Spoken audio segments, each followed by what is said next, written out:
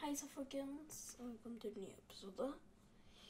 I dag skal jeg bare informere om jeg skal på SpillExpo 2017.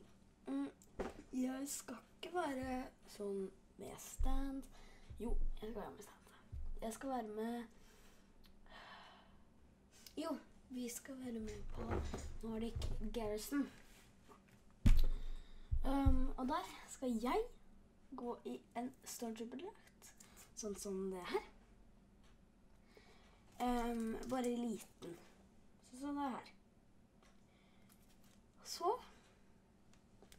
Dere kan møte meg lørdag klokken ti til klokken åtte.